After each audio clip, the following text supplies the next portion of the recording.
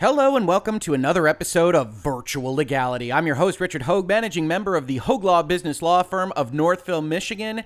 And GameStop just won't stop being the story of the week and what might become the story of the year, depending on how much Wall Street bets and Reddit continues to upend some of the common principles and understandings that so many people have about the operation of the stock market. Now, before we get into the substance of today's video, I want to tell you we're going to talk about three major topics. We're going to talk about this lawsuit because a lot of you asked me to talk about it, and so we're going to cover that. I think in general, it's a fairly weak suit.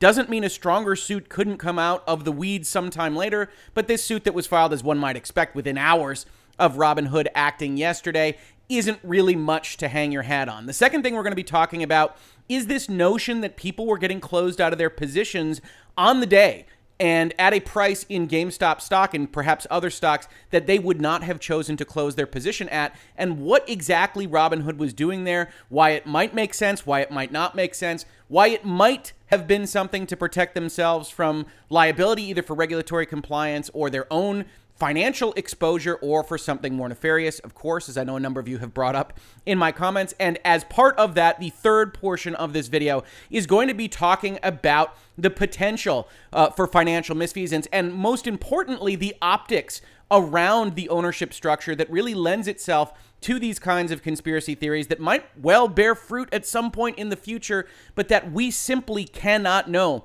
as of today. Now, I'm telling you about those three parts. I will put chapters in this video, but for some reason, the YouTube chapter system has not been working on these videos so terribly well. So I wanted to inform you of that in case there's one part or another that you'd like to see first or never, uh, that you can look at the chapters in the description of this video and click to go where you want to go. Now, without further ado, let's take a look at Brendan Nelson versus the Robinhood Financial Group. This was a class action lawsuit uh, filed, I believe, in New York yesterday, really on the day, within hours of Robinhood electing to halt buying of stocks uh, that were extremely volatile, the ones that we have been talking about earlier in this series, while still allowing people to close their positions, selling their stocks, which of course offended a whole lot of people. A lot of people are angry about that business proposition. I don't blame them from that perspective. If you don't feel like the application has done you right, I cannot blame you at all. The question, as ever, is is it illegal? And certainly, if it is, I don't feel that this lawsuit is the one to make that case terribly strongly. So let's take a look at it. Robinhood is an online brokerage firm. We can agree with that. Robinhood purposefully, willfully, and knowingly removing the stock GME, that's GameStop, from its trading platform, that's in blue, we can agree to that. It definitely willfully and knowingly removed buying of the GameStop stock on its platform in the midst of an unprecedented stock rise, okay? Deprived retail investors of the ability to invest in the open market and manipulating the open market. Now, we've talked about a lot of lawsuits here in virtual legality. I suspect if this isn't your first rodeo here, then you can recognize that the language in this is too broad, right? Much like whether or not Epic has the right to a place on the Apple App Store. One thing that you have to kind of take apart from these lawsuits and these complaints about Robinhood is do you have a right as a customer, as just somebody that wants to invest in GameStop stock, to invest in GameStop stock through the Robinhood application?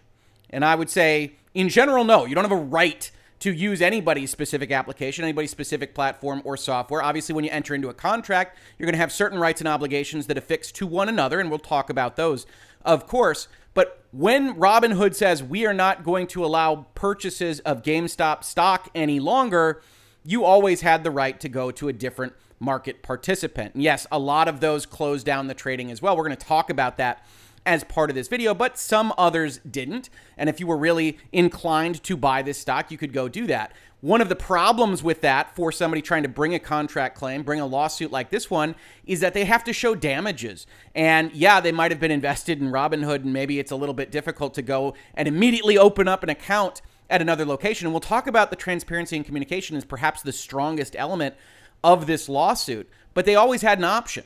Robinhood is not the market. And I think a lot of people are kind of misunderstanding that, misreading it, maybe deliberately, maybe just accidentally.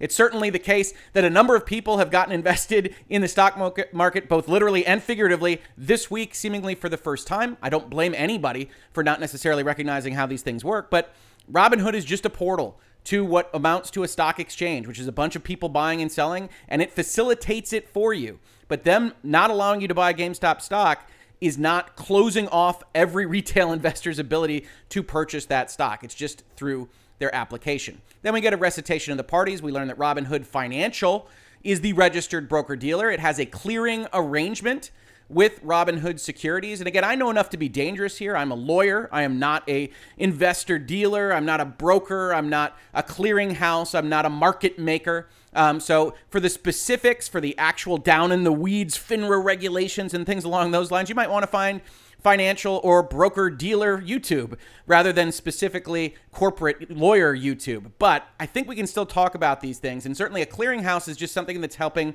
make the market work, is helping actually affect these trades for the underlying application that is actually brokering them.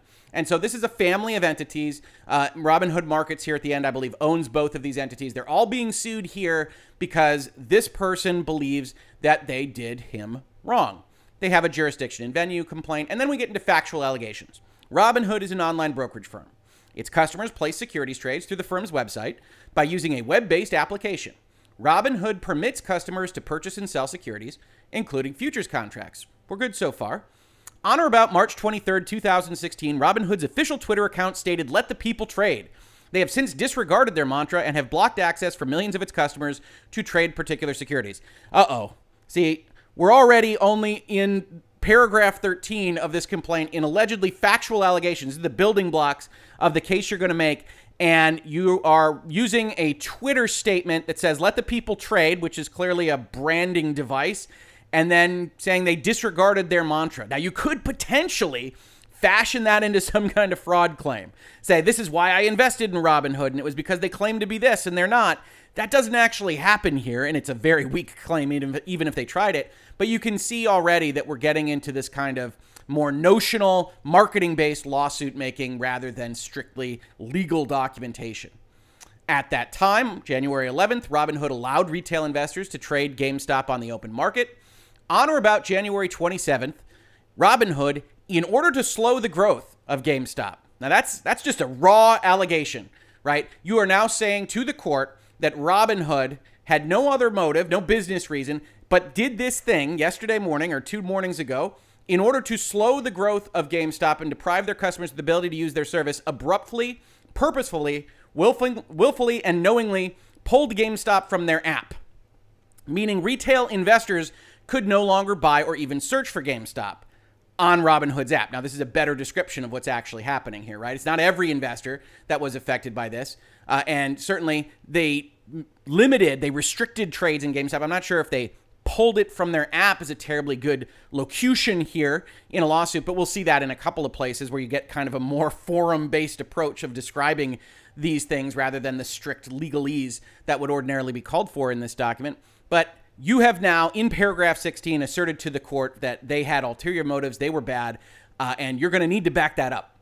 Upon information and belief, Robinhood's actions were done purposefully and knowingly to manipulate the market for the benefit of people and financial intuitions, probably institutions intended there, who were not Robinhood's customers, meaning the Citadel group we'll talk about in a second, and perhaps their other ancillary Robinhood arms.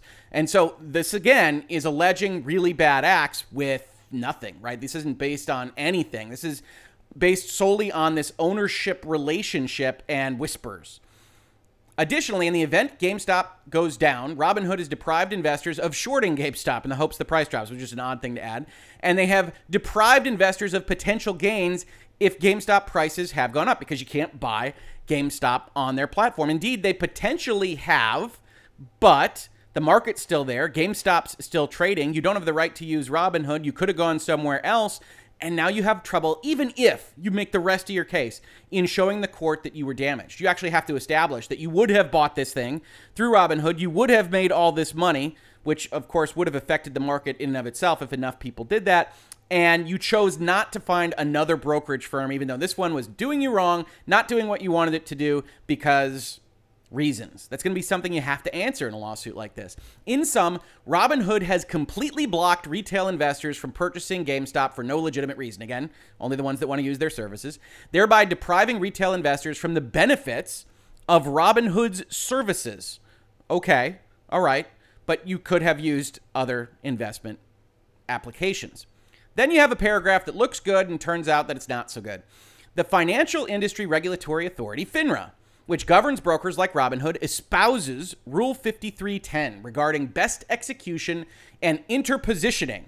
Rule 5310.01, regulations, gotta love them, requires that Robinhood must make every effort to execute a marketable customer order that it receives promptly and fully. By failing to respond at all to customers placing timely trades and outright blocking customers from trading a security, Robinhood has breached these among other obligations and caused its customers substantial losses due solely to its own negligence and failure to maintain adequate infrastructure. Now, you've got a couple of legal things happening here. We're going to talk about FINRA in just a second, but you don't ordinarily see somebody claim that somebody did something willfully, knowingly, maliciously, wrongly, and then say in legal terms that that is negligence. Negligence is accident. I didn't take enough care. I didn't worry about this thing enough, and so something bad happened to you. I deliberately did this thing for my own nefarious ends. Doesn't actually jive very well with a negligence claim. And so you get that already kind of bubbling up to the surface. The next thing, though, is that this FINRA rule, right? You have to make every effort to execute a marketable customer order that you receive fully and promptly. Sounds good, but we also know it can't possibly be the end of the story, right? You don't get the right to just say, hey, Vanguard, hey, Wells, hey, Robinhood, whomever, I want you to buy this for me or sell this for me. You have to go through their application process. They have to accept you. Robinhood's probably easier than most, but every member that is FINRA compliant doesn't have to honor every random person off the street in whatever their trades are that they want to make. We know this intuitively, but this rule is written pretty broadly. Regulations, I don't need to inform you if you've been in virtual legality for a while, aren't always written in the most succinct and most effective manner. And so, what this probably should say is that a member must make every effort to execute a marketable customer order that it receives and accepts fully and promptly. And if we go and we look at other sources, you don't have to take my word for it. We can go into places like the Bloomberg Law article on this that says the following Brokerages are permitted broad discretion in limiting trades to provide flexibility in handling unusual situations like technical glitches, mechanical errors, and mistakes, or to preserve an orderly market, said Columbia Law School professor Joshua Mitts, who specializes in corporate law. There is no obligation that a broker dealer has to unconditionally accept orders to buy, sell, or short sell securities, said Cam Funkhouser, a former executive at the Financial Industry Regulatory Authority, a Wall Street backed regulator that oversees broker dealers, FINRA. If they do accept orders, it is expected that the transaction is executed and settled in compliance with the applicable rules, said Funkhouser, who worked at FINRA for 35 years and oversaw its National Fraud Detection Office. This is a pretty good source that Bloomberg Law has found here, and it's exactly what we would expect from the corporate law side of things. Once you have agreed that you're going to do this thing for somebody, then yes, you have fiduciary obligations, obligations that are imposed in this case by regulation to do it to the best of your ability, to find a good market for them, to market these purchases or sales to the best that you can. If you decide not to accept purchases of GameStop stock, this doesn't kick in and mandate that you do so and put your financial situation at Robinhood in jeopardy. So, that particular provision, which appeared on its face to be the strongest that we would see in the lawsuit, doesn't really make much of a difference. Finishing off with this section from Bloomberg Law, it is understandable that many investors are upset by the sudden restrictions to trade certain stocks, especially if they didn't read the user agreements very carefully, said Tom Lin, a law professor at Temple University's Beasley School of Law, whose specialities include securities regulation. Whether brokerages should exercise that power in the current circumstances is up for legitimate debate. Indeed, it is. This and the the previous videos in this series are not a defense of what Robinhood did, and it's not telling you that you have to like it. It's talking about the legal strength of a challenge to what they elected to do. Now, this professor also says there is likely so much more to this story than we know at the moment, which I can only say spoilers. We're going to talk about that in the third section of this video. So we've got rid of the kind of FINRA argument. We've got rid of some of the rest of the color that have been added here. Robinhood continues to randomly pull other securities from its app for no legitimate reason. Again, strong, not terribly legally oriented. It doesn't take a rocket scientist to point to the stocks that Robinhood pulled as those that were experiencing extreme volatility over a very short window of time, three to five days. Upon information and belief, Robinhood is pulling securities like GameStop from its platform in order to slow growth and help benefit individuals and institutions who are not Robinhood customers. Again, just raw assertions. You're going to have to bring a little bit more to the party to survive summary dismissal on something like this. Plaintiff's experience. The stock did not even appear on January 28th, 2021, although GameStop is a publicly traded company available on all other platforms. It's kind of self defeating for your damage claim right there. Also, it's not true. Other platforms were limiting trading at the same time. Then we get a nice recitation of why this could be a class hackathon Again, probably action, I think we can assume there. Uh, but this is basically fill in the blanks. Hey, we've got a lot of people. They have common interests. Class action is the best way to go about things. As we've done prior in virtual legality, this is to comply with the federal rules uh, on how a class action should be formed, but it is very boilerplate, very pulled off the shelf rapidly, clearly not typo corrected for things like hackathon. And then you get to his actual claims right? Cause of action number one breach of contract. Now, this is one we've talked about, right? We've got a problem actually asserting a breach. Robinhood breached its customer agreement by, among other things, failing to disclose that its platform was going to randomly pull a profitable stock, that, Robin, that Robinhood failed to provide adequate explanation to their customers, that Robinhood knowingly put their customers at a disadvantage compared to customers who used other trading apps. Now, that sounds like a good reason to get off Robinhood, but it doesn't necessarily make what they did illegal that Robinhood failed to provide access to its own financial incentives to pull certain securities, including GameStop, that Robinhood's prohibited plaintiffs from performing in a timely manner or at all under the contract, that Robinhood failed to comply with all applicable legal, regulatory, and licensing requirements, and that Robinhood failed to exercise trades and actions requested by customers. As we talked about yesterday, the real problem for all of this is going to be in the contract itself restrictions on trading I understand that Robinhood may, in its discretion, prohibit or restrict the trading of securities or the substitution of securities in any of my accounts. I agreed on the dotted line that Robinhood could take these actions. And we're going to talk about why Robinhood might need to take these actions in the second part of this video.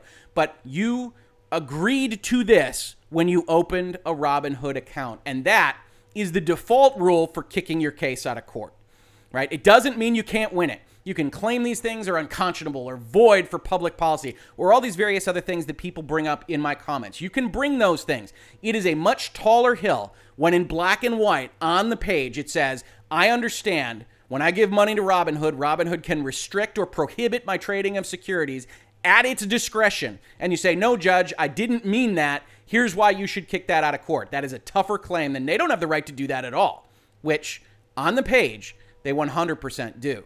That's not addressed at all in this. It's not even kind of disarmed like a bomb. Uh, and we saw how that was a problem in the Parler versus Amazon Web Services case last week, I believe it only was. And so you don't properly address that there isn't a breach that you can bring here.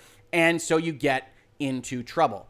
Cause of action two, based on that kind of breach concept, breach of the implied covenant of good faith and fair dealing. Robinhood was obligated to provide the trading services required under those contracts at all times. We know that isn't true. We know that Robinhood has a whole series of things that it can do to prevent trading if it deems it necessary, not just for itself, not just potentially to benefit its fiduciary partners, but because it has to to comply with SEC capital regulations and things along those lines, which may or may not come into play here.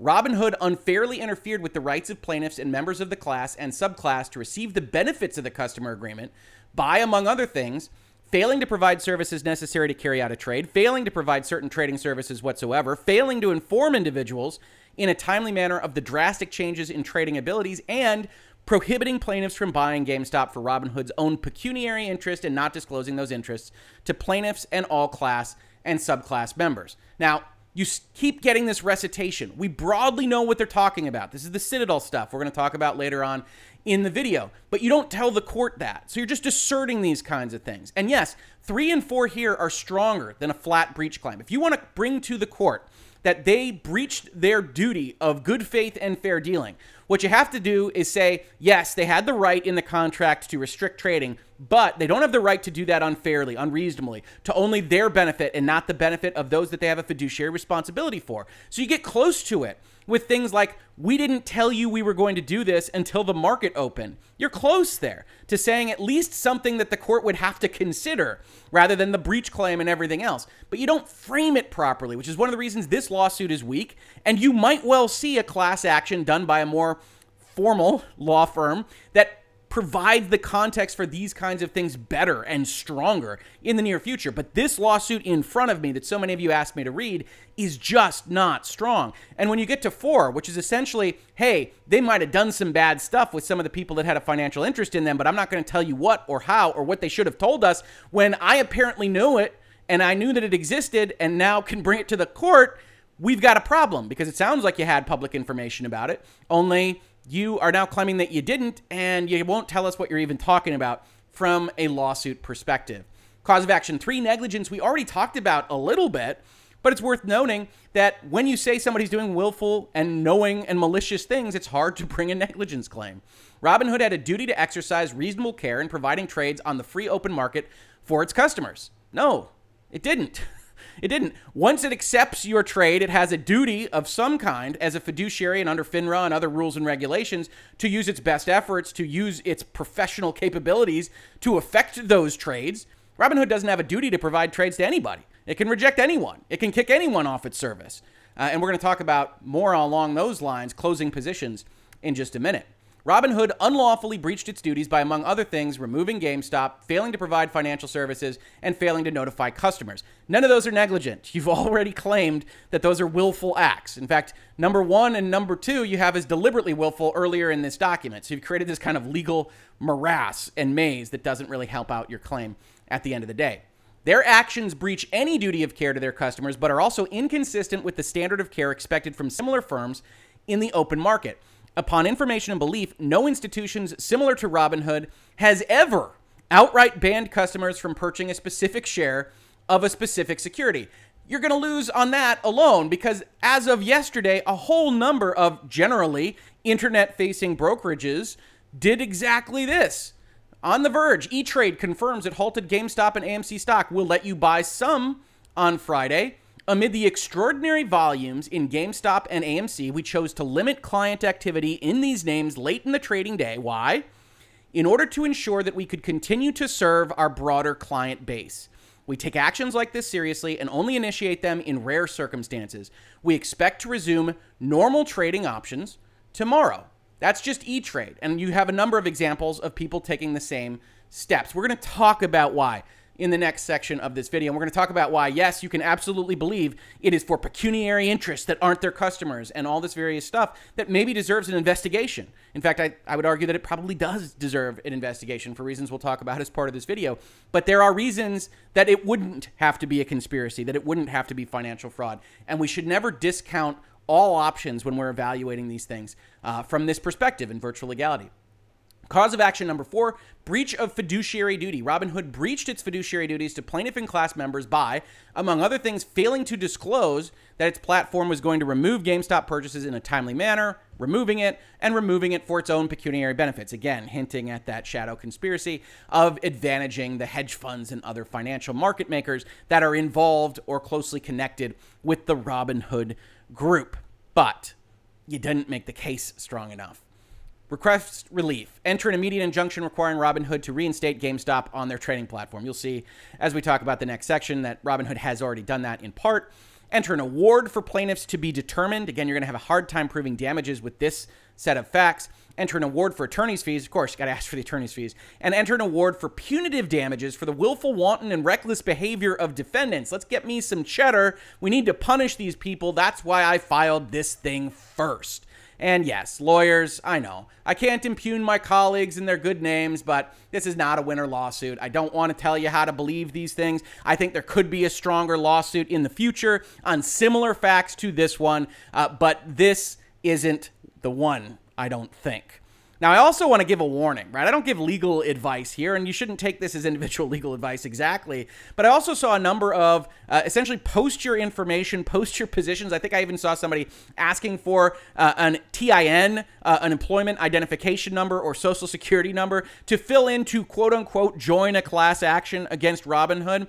This isn't legal advice. Just watch yourselves out there. Watch your personal information. If you are involved in this, if you're worried about these kinds of things, don't generally enter in your information into a random form page that says we're collecting it for a class action. Go figure out who's making these things, figure out exactly where your information is going. I, I do worry that some people are going to get burned pretty badly on some of the stuff that we are seeing happen this week. So that's the lawsuit. I think it's weak. I do think it could be stronger. And we're going to talk about how you might see a class action or even another positioned action on some stronger terms. First, we're going to talk about Robinhood on an update on market volatility. This past year, we've seen the financial markets become a voice for the voiceless. We've seen a new generation of people come into the market, sparking conversations about what it means to be an investor. You're already you're already in good hands, right? Okay, we've we've entered the world of marketing blog posts. Our customers have shown the world that investing is for everyone, not just institutional investors and hedge funds. Okay, Robinhood. Amid this week's extraordinary circumstances in the market, we made a tough decision today to temporarily limit buying for certain securities. As a brokerage firm, we have many financial requirements, including SEC net capital obligations and clearinghouse deposits. Now, as I said earlier in the video, these are ridiculously, enormously complex sets of regulations that really specialists in the world of securities investment in public markets, in broker dealer type things, in investor related FINRA and SEC compliance are focused on. And if there's a YouTuber out there talking specifically about things like net capital obligations in a volatile market with liquid securities against option calls and uh, floats and all those good things, go find them. Tell me where they are. I'll watch their videos myself. But what's sufficient to know here is that Robinhood has gone out and they've also said, hey, starting tomorrow, that's today, Friday, we plan to allow limited buys of these securities. That what happened yesterday, according to them, you don't have to believe them, this is their statement, is that we got into a situation at Robinhood where we had too much exposure and the SEC requires certain things about our asset base. That's your net capital obligations and clearinghouse deposits. We have to have a certain amount of solvency, ability to get liquid to cover the positions that we have and we've facilitated for our investor group. And what really becomes a problem for the Robinhoods of the world, for the smaller internet retail focused brokerages of the world, is if one or more of the stocks that they're using as collateral, specifically for their accounts on margin, which we'll also talk about as part of this video, get really volatile, start going wildly up and down. It makes an extreme exposure position for these companies. And either the regulatory requirements kick in and say you need to lock things down because you can't do all this. You don't have enough asset base that is covering your positions or their own financial exposure risk. And, and one of the things i think is uh, important to remember here is people talk ah oh, to the heck with the free market huh Robinhood is a free market entity. Robinhood is an entity that is allowed to make determinations as a business. It is not a suicide pact, as you sometimes hear referred to in respective constitutional arguments. They don't have to go down with the ship. They can try to control their risk ex- exposure. And in fact, the SEC and FINRA expect them to control their risk exposure because some significantly bad things happen when you're invested with a brokerage and the brokerage itself goes under. So we have this enormous set of regulations, including capital obligations, that are designed to prevent brokerages from getting into a position where you've invested in them and they went under because they were overexposed and too many things were bought on margin and they owed too many people too much money and investors fled to the wind and never paid them and all these very bad things. And so Robinhood is telling you a story that you can believe or not believe that says, here is what happened. Now, I will tell you from my perspective, this is just my position. I'm inclined to believe these kinds of statements because that enormous volatility is a novel action that we're not used to seeing. And that I do believe, as we talk about this, that Robinhood's baseline ability, when you sign up for Robinhood, it appears that you actually buy the shares on margin. We're going to talk about why it looks like that. And if you're involved in Robinhood, if you signed up this week, you want to leave a comment to this video and explain exactly what that looked like. We're going to talk about some of that in this video, but it does appear that whether or not you knew it, Robinhood was fronting the money for your purchases before your deposits would have cleared the bank, and that creates exposure risk. Now, I do want to give a hat tip to Joe Morrison Jr. at JRM Junior One. He is a colleague of mine. Full disclosure, I've worked with him for more than a decade. He flagged this series of tweets for me uh, from Di- uh, Diogenes at Wall Street Cynic. And he says, best take I've seen. Uh, this is a long thread. I will link this in the description to the video. But suffice it to say, it comes to a similar conclusion to what we have seen so far.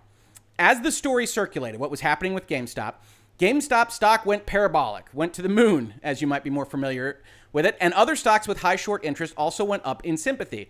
But so many retail investors began to buy these stocks on margin that the online brokers began having regulatory clearinghouse capital issues today. These brokerages, but not others, began to restrict trading in the volatile stocks per their customer agreements. As we just talked about, they have the right to restrict trading, especially if their risk profile is getting too high, so as to not violate their regulatory capital limits. And all hell broke loose. Retail traders were outraged. They were not allowed to buy more of a stock that was up 20 times over the past three months. That somehow the Wall Street elites were preventing them from profiting even more so as to protect hedge funds, many of whom were long, which is an important note here. There are hedge funds on the buy side, of course, and short seller.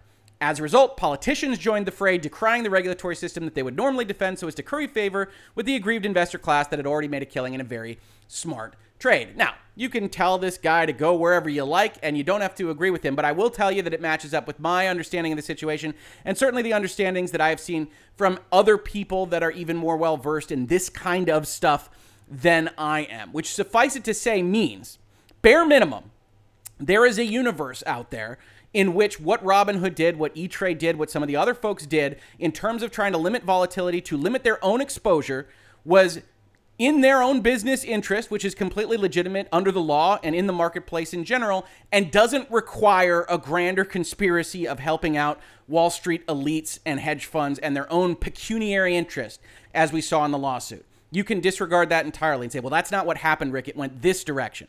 But I think it's important to know before we continue on with this video that it's a possibility that they were complying with securities laws, regulatory compliance reasons, limiting their own risk exposure. Everybody came to a similar decision because of the rapid up and down swings of the GameStop stock. Then you say, but Rick, more happened yesterday, didn't it? And I say, indeed, it did. Hat tip to Sunny at 555 Sunny here, who is one of the places, this is all over the internet, that pointed out that Robinhood was in fact liquidating positions yesterday, certainly at least allegedly, by what we've seen on Twitter and elsewhere. Important information about your Robinhood account. In light of recent volatility, we are restricting transactions for certain securities to position closing only. However, due to the unreasonable risk involved in brokering your position, we have closed your 4,500 shares of GameStop for an average price of 118.93, which nobody wants because it's I think it's even higher than that right now, on January 28th, 2021 at 11:24 a.m. Your trade confirmation will be available in your order history. So they locked out people. They didn't just say you can't buy, you can only sell. They said we're going to sell for you to at least a certain subset of people. Now, this was brought to my attention by a number of folks. Thank you as always. Uh, yesterday morning and into the afternoon, and my initial thought was, okay, that's margin calls, right? As they said in their earlier statement, we also raised margin requirements for certain securities. And buying on margin, we'll talk about in just a second, but they probably raised them to 100%. We are not going to float you money to buy GameStop stock. We are instead going to require that you have all the money deposited in our accounts in order to buy that stock. Now, what's buying on margin?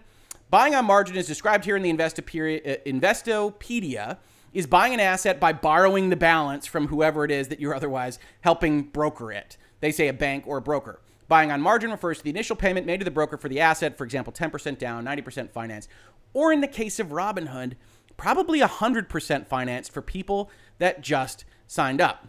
Said in the shortest form that I can imagine, it means that when you wanted to buy $100 of GameStop stock, Robinhood instead used its own money to buy it for you, gave you the GameStop stock, and then the collateral for that quote unquote loan was the GameStop stock itself. Now, that works perfectly well if the value of the GameStop stock isn't wildly swinging around within a three day period or whatever time period it might take for your deposit to clear.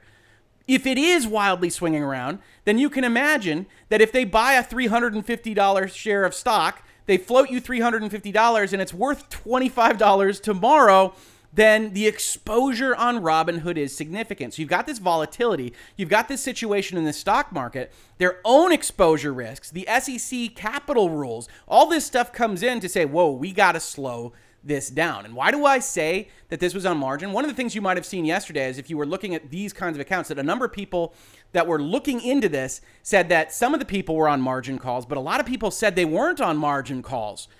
And I said, that is really weird because this strikes me as something that they would do if they had the right under a margin call. In fact, if we go and we look at the customer agreement, we go all the way back up to number one here, I believe it is, number one F, we see once again that Robinhood may at any time in its sole discretion and without prior notice prohibit or restrict my ability to trade securities, but also that Robinhood reserves the right to require full payment in cleared funds prior to the acceptance of any order. We don't have to float money for you. In the event that I fail to provide sufficient funds, Robinhood may, at its option and without notice to me, charge a reasonable rate of interest, liquidate the property subject to the buy order, or sell other property owned by me and held in any of my accounts. So, what I think was happening was if you go and you look at how Robinhood actually works, they have this thing called Robinhood Instant. It's effectively that you sign up with Robinhood, you tell them that you're going to put a certain amount of money into Robinhood, that's fine. But the way the clearing of checks works, the way the clearing of transfers works into Robinhood, is that it will generally take a small period of time two days, three days, five days, whatever it might be. Robinhood doesn't want you to have to wait because you're trying to get in on a hot market. And so they say bank transfers up to $1,000 into Robinhood are instantly available for investing. Now, if you've ever cashed a check in your bank account, you know that it tells you it's not instantly available. The bank actually has to go through a little bit of work to make sure that that money changes over into accounts and gives it to you. Robinhood says no. For at least $1,000, when you sign up with us, you can just buy something. So, as best I can tell, and somebody can easily come into the comments and correct me on this, people that signed up, especially this week, and wanted to get into GameStop, maybe buy a thousand dollars, maybe buy more because Robinhood also has a kind of gold notion that if you've told it you're going to have enough money in there, it could potentially make this instant deposit concept bigger. I don't know exactly how that works. Again, I'm not a Robinhood customer. You can again educate me in the comments to this video, but that Robinhood is floating money that you might not realize that you are quote unquote on margin. But if you signed up this week and your money hasn't cleared from the bank, then that's an exposure item for Robinhood, and they probably have some margin language somewhere in the small type, somewhere on their application or their website to tell you that this is in fact the case. I don't know how instant deposits would otherwise work if it's not Robinhood floating the money, which means that for all the financial calculations and the asset classes and everything else that is going on under the hood, as their blog is entitled, I believe, or they didn't have it titled that in 2016, that for all of that, when you have this massive sense of volatility, Robinhood has to look at its situation, look at its compliance obligations, look at its capital and its clearinghouse rules, and say, oh my goodness, this is way too much risk. And once they do that, then you get actions like happened yesterday. Then you get those restrictions, not just at Robinhood, but at other internet facing sites that say, oh my goodness, if I'm trying to facilitate this day and date trading, if I'm really on margin but not really, describing it as such, then I need to be able to take these steps. And one of the reasons you might have seen steps like this taken yesterday is in order to try to get their house right, in order to allow trading of some kind that they would do today. Now, if you're also interested in on margin trading just in general, I can also recommend, of course, Saved by the Bell Season 1, Episode 3 Wall Street in which Zach Morris, the unfairly impugned by Funny or Die and Zach Morris's trash, decided to buy potatoes on margin, ultimately winding up in the loss of his teacher's car. You can read this blog post, which is very fulsome. I think it's thousands and thousands of words on this single episode, or you can check out the episode wherever Saved by the Bell may be found. Now, the last thing I wanted to cover on this video is, of course, the big elephant in the room. This has been brought up by a number of folks in the comments. One of the things that was implied, if not outright stated, in the lawsuit that we looked at the top of this video is this notion that more was going on behind the scenes. Hap tip to Kona Gaming at Kona Penchu uh, on Twitter. I've seen this tweet and was wondering if this changes anything from your video about can Robinhood do this? And says, thanks, bro. I'm a big fan of your channel. Obviously, you're going to get more hat tips if you say you're a big fan of the channel. I'm just kidding. And I apologize, I can't zoom this in a little bit closer. This is from uh, Paul Gosar member of Congress, I am greatly troubled with the events that have unfolded on Wall Street and demand action from the U.S. Department of Justice Today, a FINRA regulated broker dealer called Robinhood halted the purchase of stocks for several publicly traded companies, including GameStop, BlackBerry, AMC, and others. This unilateral move was done in a concerted effort to deplatform and silence individual investors. Okay, so somebody copy and pasted their section CDA 230 talking about Facebook locking off conservatives or whatever it might be and applied it to this particular situation. They weren't really trying to silence anybody. The better claim here, if any, is that they were trying to advantage people that had an ownership interest in them. This began when an investment management fund called Melvin Capital Management placed an aggressive short sell on the company GameStop. To contradict this decision, the heavily followed Reddit page r slash Wall Street Bets. But you never thought you'd see that particular name in a letter from a congress, uh, congressional representative and their administrators advocated that their followers purchase GameStop stock using the broker Robinhood. The movement was so immense that it drove the stock price to over 400% of its previous value. Here's where I say that I think the Wall Street Bets component, while they led this thing, the volume couldn't have possibly just come from them. There's more than retail investors invested in all of this stuff, but that's for another video. As a result, Melvin Capital lost billions on their return, and Robinhood blocked users from buying any more of GameStop stock, but still allowed liquidation. Now, here I want to take a pause, and I, I, mentioned this to a couple of people that talked to me on social media yesterday. The alternative to this, people said, hey, they should have just blocked it entirely, in many ways looks significantly worse. If Robinhood blocks both purchases and closing a position, getting rid of your interest in the stock, it looks a whole lot more, especially to new investors or investors that haven't dealt with applications of this type a lot, that Robinhood has seized your money, has allowed you to buy this stock, and then won't let you alter your stars depending on whether GameStop goes up or down. If that is in fact the case, I'd argue that they would have put themselves in a worse position for lawsuits and regulatory compliance and all these things because it looked like you actually seized the assets. So by just allowing it to remain open on liquidation, it says, hey, look, you can still ride this up uh, and you can liquidate if you so choose, but we're not locking this money in. We haven't claimed it when we don't have a right to do so. Continuing with the congressional letter, Melvin Capital Management is owned by the parent company Citadel LLC, which, according to a Bloomberg report, gave Robinhood roughly 40% of their revenue. And that would need to be clarified in any kind of investigation. Knowing the involvement Citadel has with Robinhood, it is clear, always look out when Congress says it is clear, that the actions taken today were motivated by anti competitive reasons, not for concerns of volatility claimed by Robinhood. Of course, the easy answer to that is okay, then does everybody else that acted on this same volatility also have such an interest? And if not, how do you distinguish Robinhood from those actors? Because of this blatant conflict of interest and obvious monopolistic activity, now nobody accuses Robinhood of having a monopoly in anything, so that's in and of itself a bridge one step too far.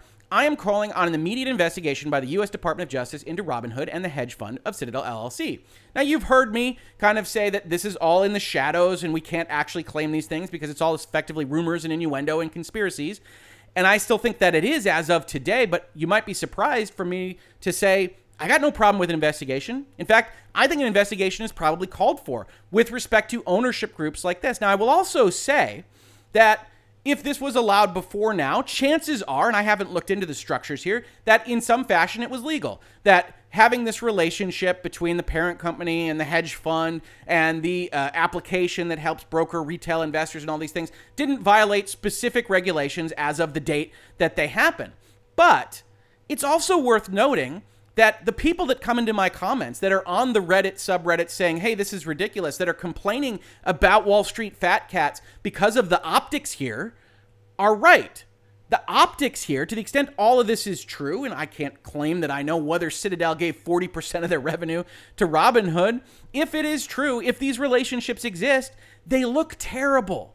And just like other market manipulations, they lower faith in the market regardless of whether anything went wrong or not. So, like other rules and regulations that focus on the implication of something being bad, this is worthwhile of an investigation, even if they find nothing, and to potentially look at rules and regulations that have this ownership concept separated more, right? Because I can sit here in a video in virtual legality and tell you, look, the volatility was this. You're going to buy things on margin. They're trying to facilitate margin buying. Once that happens, you've got all this exposure risk. They're going to have to get out of that liability and exposure somehow. And the SEC is actually going to mandate that they do so in certain capacities. I'm going to tell you that that's a decent reason for Robinhood to have acted in that way. But also, you're going to come back at me and say, but all this stuff about ownership. And I'm going to say, you're right.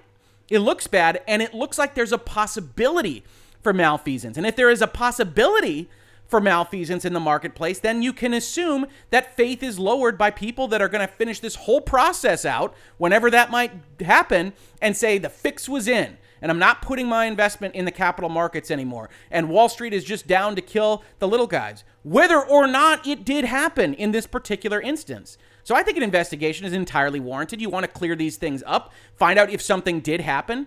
And um, the one thing I will tell people that commented in my earlier video that I said they have the right to do this under the contract, so it's a very difficult claim against them to make, is that if you do find a smoking gun, an email saying, oh, we're going to do this, and twirling their mustaches with glee and smoking the cigars in some darkly lit room, then yeah, you can bring a fraud complaint. You can bring a restraint of trade complaint. You can bring a fiduciary duty breach complaint. You can do all those things, but as it stands right now, you're going to need a little bit more. And no, the discovery process in the state of New York in the federal courts is not really designed for, I think they might have done something together.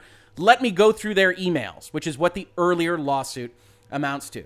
So, I'm with everybody that says this looks bad and even that it stinks to high heaven because if this ownership connection it does exist, it does in fact stink to high heaven. But it's important to note that you didn't actually need to commit financial fraud to take the actions that were taken yesterday.